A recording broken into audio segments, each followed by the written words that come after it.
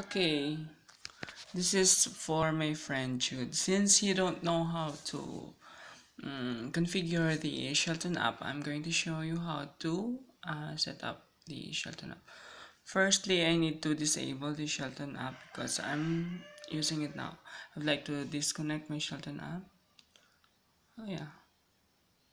Right after disconnecting, you need least to start uh, using the ShellTun app by opening it and then you need to import some configuration that is ready configured.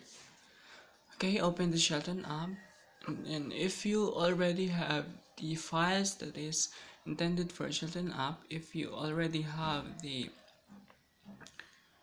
configuration or stealth settings of this file you need at least to press the stealth settings button here the, uh, located at the top right of your cell phone right? After you opening after you open the ShellTun app just simply click this stealth settings.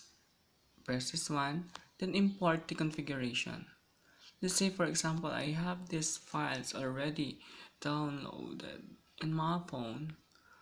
Um, uh, it's in my e files let's use this one the ASHT or .ASHT press connect.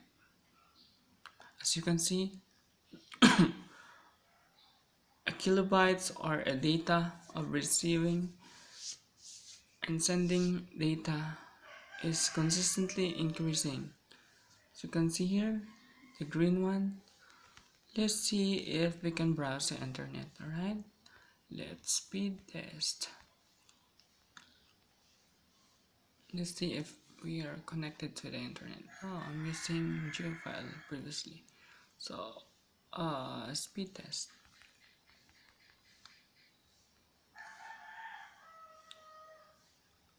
Uh, fast. Let's use fast.com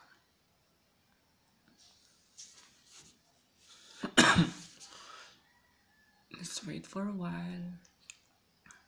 2.4 mbps. There's 2.3 no more higher than 2.3 see? We are now connected with the internet